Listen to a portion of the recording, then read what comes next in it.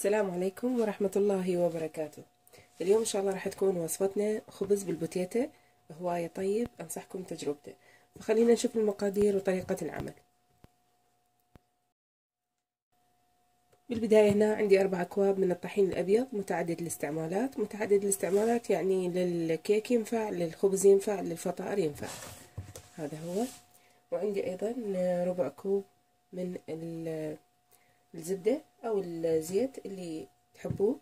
وعندي أيضا مي للعجن دافي وراح أخذ ملعقة سكر وملعقة خمرة. فبالبداية راح أخذ مبدئيا كوب من المي. كوب من المي. أخلي ملعقة سكر. وأيضا أخلي ملعقة خمرة. بعد ذلك. أبدي أخلطهم أتركهم ثلاث دقائق لحد ما تتفاعل الخمرة مع السكر.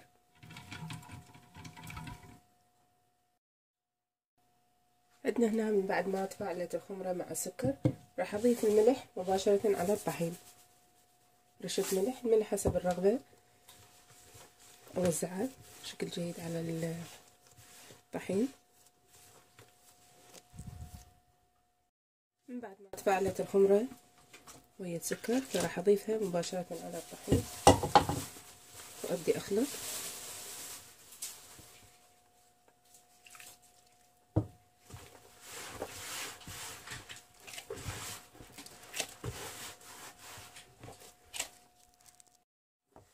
أول ما تبدي تتجمع عندنا العجين بهذا الشكل أنزل الزبدة. أبدي أعجن لحد ما تتجانس حوالي خمس دقايق. يكفي. هذا من بعد ما تجانست أخذت من عندي كوب ونص وتقريبا ملعقتين طعام.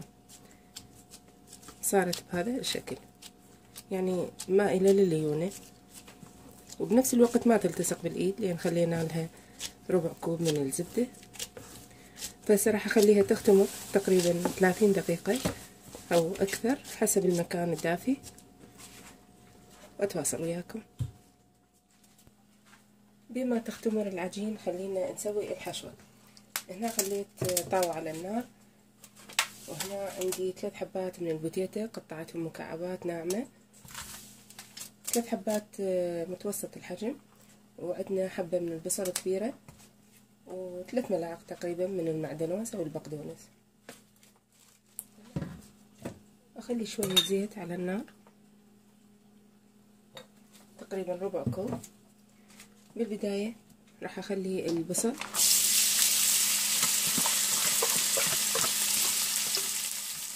بعد ما شوية تذبل البصل تقريبا دقيقة واحدة راح أضيف البوتيتو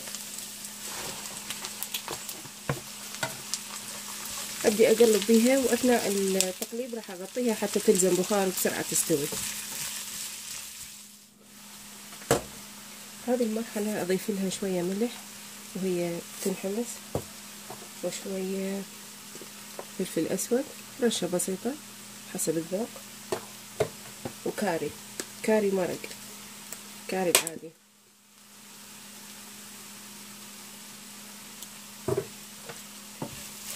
اقلبها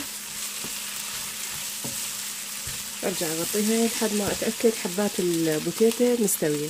يعني بس أشيكها. تستوي تكون جاهزة. بالبخار بسرعة تستوي على نار هادئة أو متوسطة. ريحتها.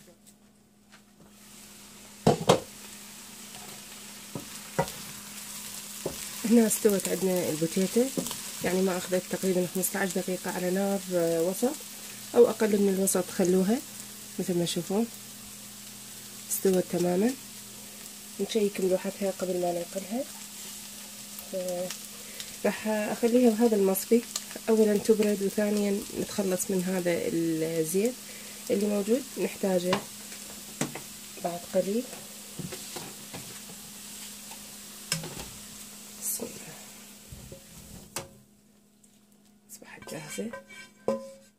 بما خلينا الحشوة شوية تبرد. شيكت العجين ما شاء الله مختمرة.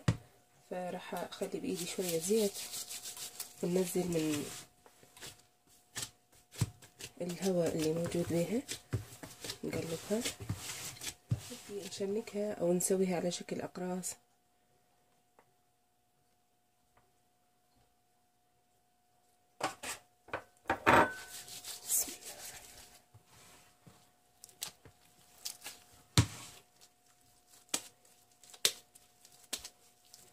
نجمع كل العجينة بالوسط. وبعد ذلك نلم الأطراف بالإبهام. هذا الشكل. يصير عندنا قرص مدور.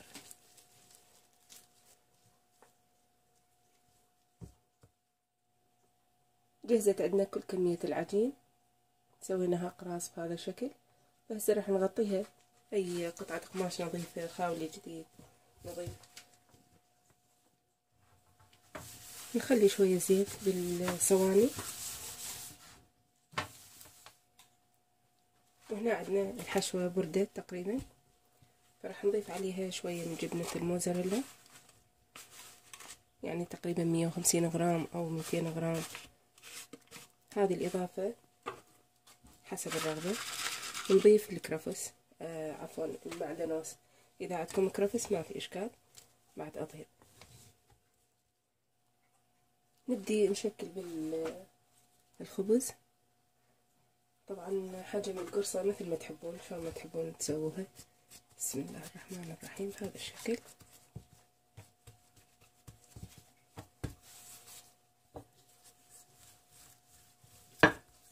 افتحها بالشيبك أو بإيديكم.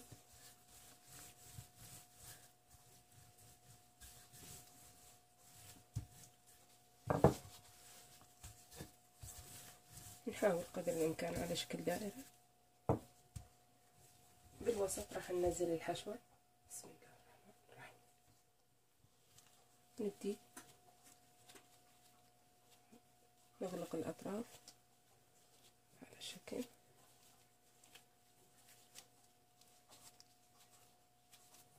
نحاول نجمعهم بشكل جيد.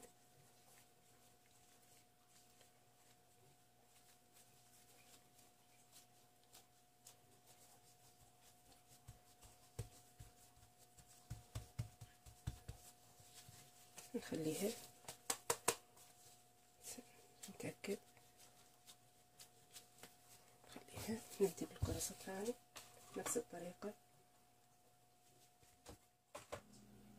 من بعد ما حشيت كل الكمية هسه راح ابدي أخليهم بالصينية. بس شوية أفتحهم أكثر. هاي نبدي من أول وحدة. اشتغلنا بيها. نفتحها شوي شوي.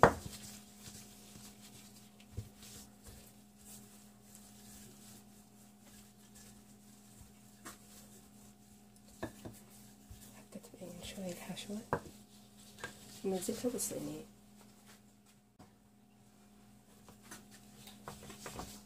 نحاول نسويها على شكل دائرة.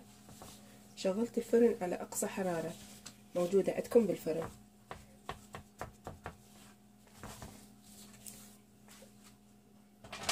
حتى تاخذ لون بسرعة وتصير طرية. إذا طولت بالفرن تصير شوي على يباس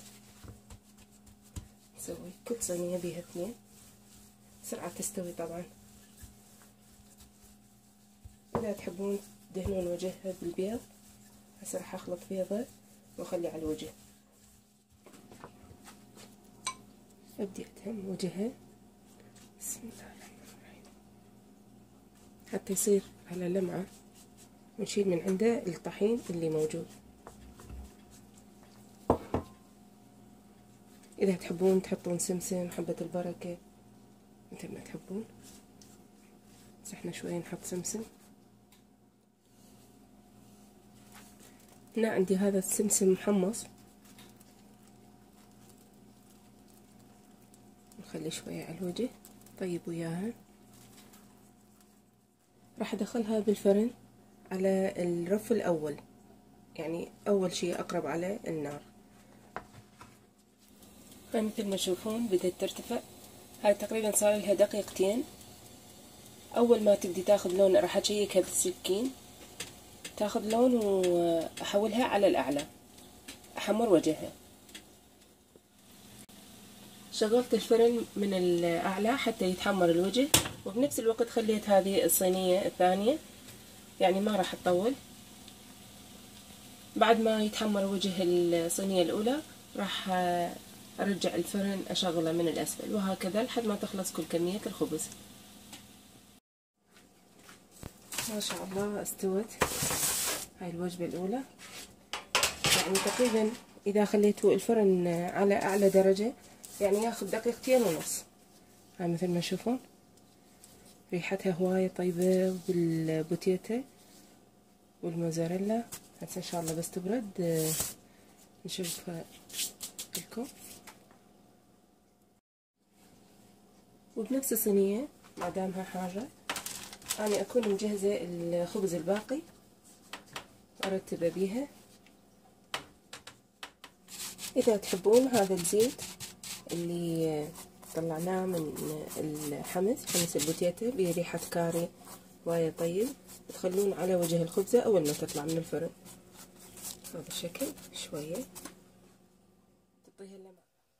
وهذا الشكل النهائي من بعد ما جهزت كل الكمية. ما شاء الله هذه كل القرص بأربع أكواب من الطحين كمية لا بأس بيها. هذا طبعا ينفع للسحور برمضان ينفع كإفطار. همينة بالإفطار نقدر نقدمه. حار وطيب ريحته هواية طيبة. تشوفون شلون طري. ما شاء الله.